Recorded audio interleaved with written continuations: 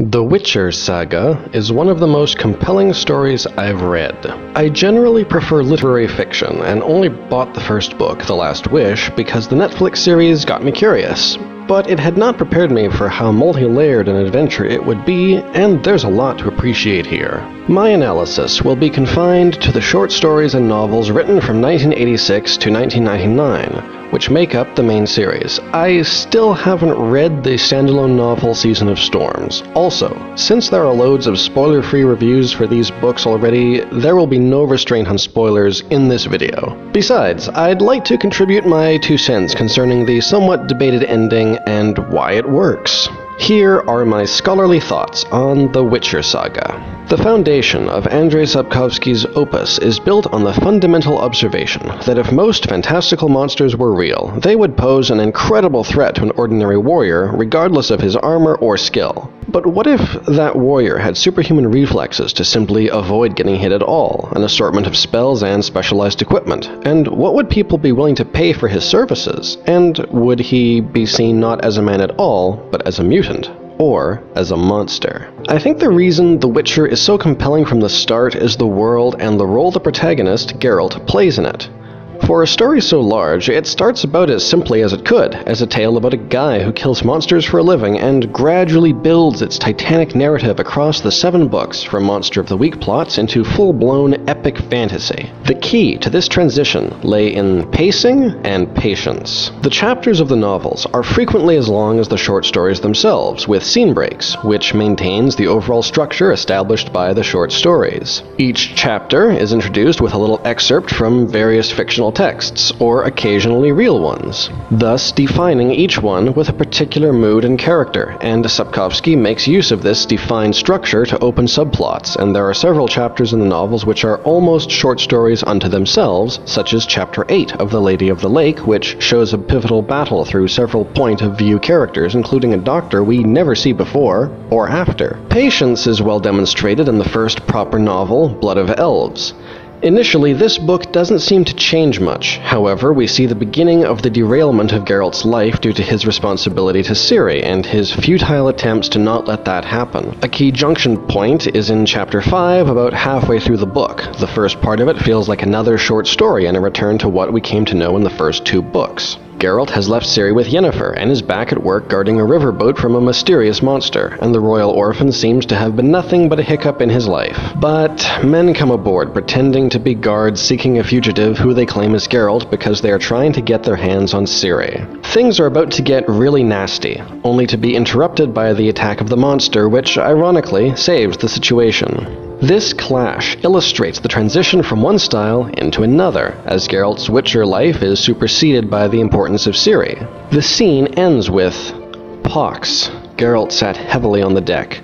I'm too old for this sort of thing. Far, far too old. In the short stories, Geralt felt fallible, sure, but he also seemed able to bounce back from any kind of injury given enough time. This one bit of text brings in the whole idea of aging and change into the story, and that it's time to wave goodbye to something that has become familiar, preparing us for the catastrophe in time of contempt. It's the kernel of vulnerability showing in the protagonist, who, by the end of the series, has a bad leg that never fully healed to complement his mental scars. An important thing about a series, or even just very long books, is the observance of variance, whether that be diverse character types or altering moods, because one mood maintained for 800 or 1000 or 5000 pages risks boring the reader. It's the difference between a popular song and a 45 minute symphony, and The Witcher is nothing if not varied. The very structure which gives individual personality to a chapter being extended to the book's overall, each one having its own special character within the larger narrative. Time of Contempt is quite literary, in that it had a lot less action and fleshes out important details of the main plot. Baptism of Fire is basically a dark road movie version of Final Fantasy, and is in many ways where the meat of the plot begins and might have the most action. Even the titles of certain novels refer to a recurring theme within that particular book. Since each book has its own distinct feel, it's quite a forgiving series to take little breaks in, and a number of them actually begin with a new point of view character, a good way to draw a reader back in. In Baptism of Fire, it's Milva, and she turns into a prominent supporting character, whereas Aplegatt, the horse messenger at the start of Time of Contempt, doesn't survive the first chapter. Another prime example of variance being used to good effect as a tool to create unpredictability. This unpredictability extends to the bending of genre tropes. I predicted virtually nothing about the plot. And a primary reason for that is that Sapkowski isn't focused on subversion at all times, and you never know when he's suddenly going to play a trope straight. In the third book, Geralt is joined by a small band helping him on his quest, thus playing the traveling band of heroes straight, only for most of them to die in Book 5, burning the trope to the ground. There are genuinely happy moments in this series, and the harsh nature of the world makes those happy moments even better because the characters had to earn them. The world is what TV tropes would call a crapsack world, but because it's punctuated by good moments, it puts the characters under a lot of moral pressure, especially Geralt, who is, despite his seemingly calloused personality, the hero of this story. And it's his struggle to do the right thing that drives most of the narrative, first in the short stories, then in the novels. His mistakes haunt him, but his successes speak for themselves. And it's not just Geralt who plays against type. Dandelion, easily written off as a wimp, is capable of incredible physical bravery. Unlike his show counterpart, I mean, I don't think we're gonna see this Jaskier rooftop hopping anytime soon. No offense to Joey Batey. Yennefer seems hard at times, but she's hard because of her life, and her heart is still capable of warmth and love, and we see how that creates vulnerability. Ciri is a sort of royal brat when we first meet her, but as she continues to get into adventures and tribulations, her incredible tenacity becomes her greatest quality. And watching her grow, seeing the moments that give her hard lessons or false ideas, ideas and form her character is a huge part of the story. The extended cast are also very rich, coming in all shapes and sizes, with such a mix of playing to and against my expectations that the only discernible pattern I could find was the absence of one. There's Dijkstra, a big brawny guy who is a master spy and fiendishly intelligent, just as there are the typical lunkheads peppered among the gangs and henchmen. Regis is a vampire, but also a good person who becomes one of Geralt's best friends. I think he also embodies the importance of choosing our own path through life. Cahir, the misunderstood Black Knight who walks a thin line between deconstructing the noble knight and playing it straight. Sir Eyck, the stiff but honorable and brave knight, unlike the moron in the show. Ugh. Good old Boreas Mun, the hired tracker with a conscience. There are wizards who look just like dignified gentlemen or ladies in scandalously revealing outfits, while there are others who have pointed hats and staffs. One even has a black cat. The monsters defy expectations as well. There's a werewolf who wants to die. And yet, there are monsters who need to be killed because they are dangerous and vile, and the way Geralt has to navigate these kinds of moral mazes is a highlight of the short stories, and a microcosm of the larger story, where he has to decide whether to be a bystander or take an active role in things. Something else I want to touch on about the characters is there's a load of them, which Sapkowski uses to fill in blank spots in the narrative in a somewhat unique way. Stories, especially long ones, generally have their central characters placed in key locations in order to show us the crucial aspects of the world and story, and place the responsibility of progressing said story on their shoulders as much as possible, which is totally fine. But Sapkowski doesn't go for this so much. Instead, his characters tend to be specialists within the narrative. For instance, creating a relevant point of view with that doctor I mentioned earlier, instead of having, I don't know, Yennefer help out in the surgeon's tent. Kings do their kingly things, generals do their general stuff, doctors perform surgery, witchers kill monsters, and no one feels larger than life, not even wizards and sorceresses who also have their part to play. I like this tactic because it lends a sense of realism and makes the world feel large and full and busy. Now, there is a downside to this at times, because despite this being incredibly well done the majority of the time, with characters from one scene or short story appearing hundreds of pages later without causing me any confusion, for the life of me, I could not keep track of everyone. There were a number of members of the Lodge of Sorceresses of whom I couldn't remember which which was which, and they just kind of bled together for me. Perhaps future editions could benefit from a character sheet like my edition of War and Peace, or you could make your own. On that note, these books are free from the sort of extra details and techniques I've come to expect from fantasy novels. There's no map of the continent, there's no appendix, no glossary, or even footnotes. And this, despite the lack of that uh, character list, is one of my highest compliments for Sapkowski's skill. He manages to explain everything important only with the text, leaving out details that are unnecessary while making sure you're right with him following the narrative. And mind you, Sapkowski stays away from exposition for the majority of the short stories, doing almost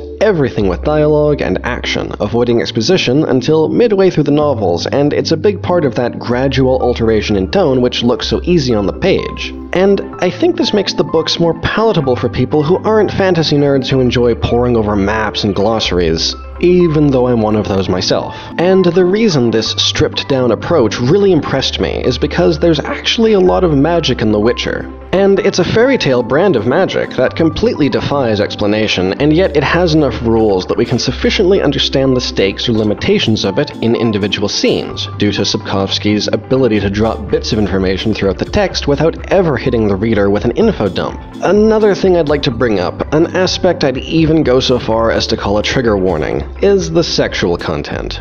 To be clear, it's not explicit, because Sapkowski is very good at implication, but I want to bring this up because I've seen a number of reviews, usually by women, saying they dislike just how many of the female characters are interested in Geralt. A trope I myself dislike, but I feel like it was mostly fine here. The majority of women who expressed interest in Geralt are sorceresses who seem to be part of a sort of hookup culture within the magical community, since they can all ignore any consequences of promiscuity and there are plenty of lustful men keeping the scales balanced, and other characters who never seem to think about sex or love at all. I also think the female characters overall were incredibly well written and varied, so to me it was just another flavor of character. Besides, I'm also a little tired of this modern trope depicting women as very disinterested in sex compared to men, and these books take the approach that not all women or all men are the same. I certainly don't recall Calanthe hitting on Geralt. Again, the key word here is variety, so while I kinda understand this complaint, I'm not on board with it. Just uh, throwing that out there. Moving on to theme. There is a through line of the narrative concerning the nature of stories, and why we tell them that thematically begins by deconstructing classic fairy tales with the short stories. Numerous times, the characters talk about the nature of stories and how they should end, and a comparison between how people want to remember the past versus what actually happened. That there's a difference between history and the stories we tell ourselves to feel better. The stories invented about the past almost always glamorize it. There are literally sections where events that are happening are being written down by Dandelion, and we see the difference. And this rather meta aspect of the books brings me to the last big point I want to make about the ending. While I was very unsure of what to make of it at first, and had to actually scratch my head for a while, it seems to me that at the end of the day, Sapkowski wants us to have fun. He claims to have no philosophy, that the things in the novels which seem to make political or philosophical statements, such as the continent being doomed to end in ice, are just there to set the scene, and when asked the question, What's the purpose of literature? To tell a story or making money?